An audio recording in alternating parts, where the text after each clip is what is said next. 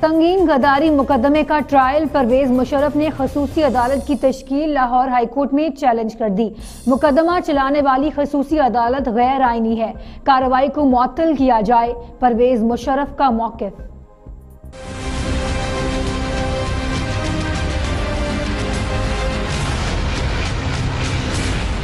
پرویز مشرف نے سنگین غداری مقدمے کا ٹرائل روکنے کے لیے لاہور ہائی کورٹ میں درخواست دائر کر دی۔ جسٹس مظاہر علی اکبر نقوی سولہ دسمبر کو پرویز مشرف کی درخواست پر سماعت کریں گے۔ لاہور ہائی کورٹ میں دائر درخواست میں وفاقی حکومت اور دیگر کو فریق بنایا گیا ہے۔